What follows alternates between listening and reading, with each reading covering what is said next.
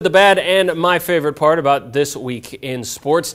I can't think of anything I liked better than the story of the Payette baseball team this week. Of course, famous alumnus Harlan, Harmon Killebrew passed, and the team, many of which had met the man during his namesake festival in Payette, came out and didn't just win two games at state.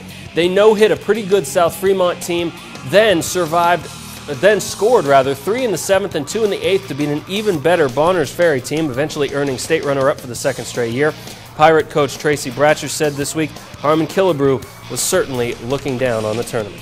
Another former teammate of Lance Armstrong has said the seven time Tour de France winner doped to win those races. Tyler Johnson told 60 Minutes this week just what he told a grand jury previously that Armstrong and every member of the famed Postal Service team in the early 2000s took performance enhancing drugs.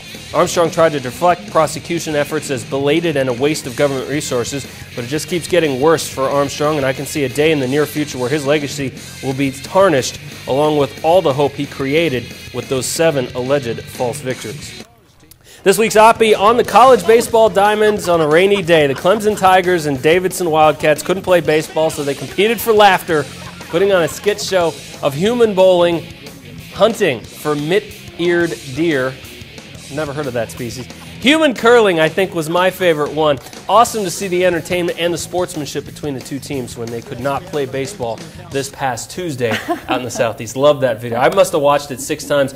Almost 460,000 views on YouTube. Don't have to wait for the Winter Olympics to get your curling in, apparently. No, that was terrific. yeah, loving it. All right.